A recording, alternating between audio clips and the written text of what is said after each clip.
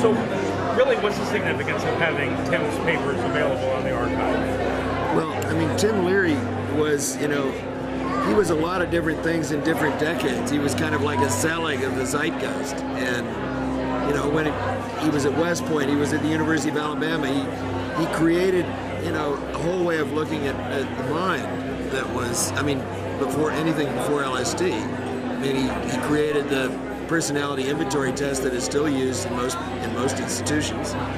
He created the idea of transpersonal psychology, where it was obvious that there was a third party between the between the psychological partners.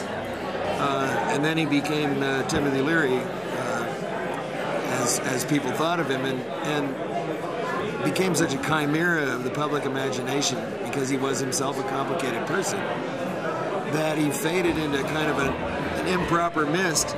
But if you understand Timothy Leary, you at least understand a lot about America during the, the 20th century. Uh, and I think actually much of what's happened since 1970 has been a response to something that Tim Leary started uh, in America, which is still getting itself worked out. I don't believe, oddly enough, I don't believe that we would have seen Barack Obama made president of the United States if it hadn't been for Timothy Leary.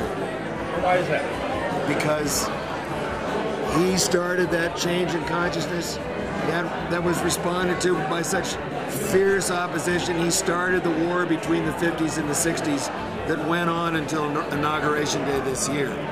So it's really important that, you know, such the, the history of such a person be properly memorialized and understood by the people who are going to live in its consequences for a long time. So a kid today in 2009 who may not know a lot about the history of the 60s and the history of Tim, what can they get from these archives? they can find out a hell of a lot that their parents wouldn't tell them. no, their parents probably knew a lot that, that, would be in those archives, but they were dishonest about it, unfortunately. So 20-year-olds, check them out. Anything else you wanted to add, But no, I'll just say this. Timothy Leary is not dead. He lives on in cyberspace. You can find him there. Go check him out.